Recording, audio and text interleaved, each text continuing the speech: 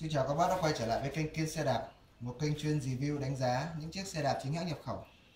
Trong video này em sẽ giới thiệu đến các bác một mẫu xe Touring Một dòng xe đi phố của Gian, mang thương hiệu XCR7 XCR3500 Được à, trang bị à, cấu hình à, full full group Alivio. Bây giờ em sẽ vào đánh giá chi tiết toàn bộ chiếc xe để cho các bác xem.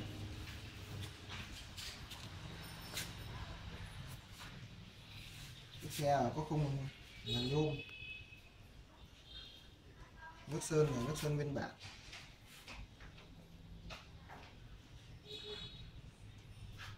Tổng thể ngoại hình của chiếc xe thì còn rất là mới. Chỉ có một vài vết xước nhỏ do quá trình sử dụng, cộng với cả là xe bãi thì không thể tránh khỏi.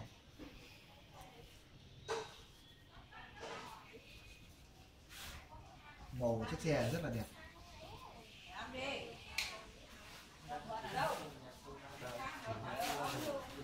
Trang bị bộ tay bấm.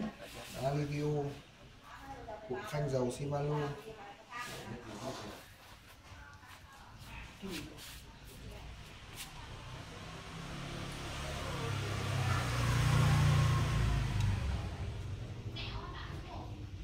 Máy ơi đi vòng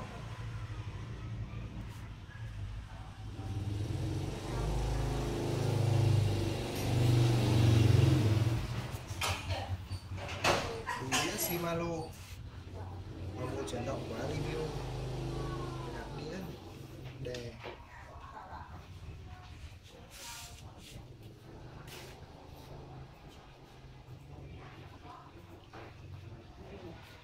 và bây giờ em sẽ vào đánh giá chi tiết toàn bộ. À, và bây giờ em sẽ vào à, đo size cũng như là chuyển các chuyển động để các bác xem.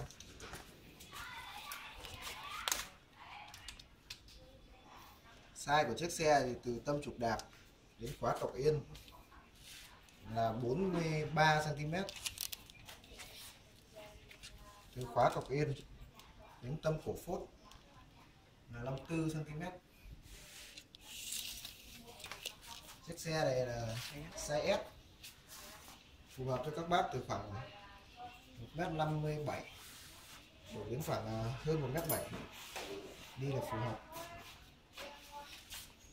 Rất nhiều bác hỏi em về cái giá bán của chiếc xe là bao nhiêu, thì các bác em đã đề ngay ở cái chỗ tiêu đề là các bác ấn mũi tên chọn xuống vào là cái giá em đã đề đây luôn này. Còn nếu mà em không đề giá thì tức là xe đã bán. Cái thứ hai là một số bác bảo là không thấy YouTube gửi thông báo khi mà em đưa lên xem xe mới lên trên kênh ấy, thì các bác ấn cho em cái chữ đăng ký, chọn, ấn chuông, chọn tất cả đấy, thì nó sẽ gửi tất cả các cái thông báo khi nào bên em cứ có xe nào đăng lên trên kênh thì nó sẽ gửi cho các bác vào thông điện thoại nhá. Trang bị 9 tầng nít 3 tầng đĩa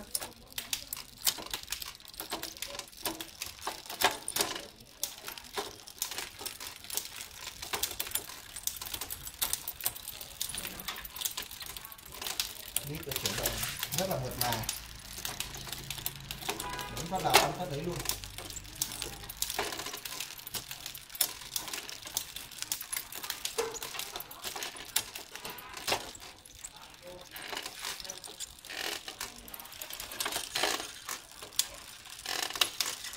Các bác thấy là chuyển động nó rất là mượt mà.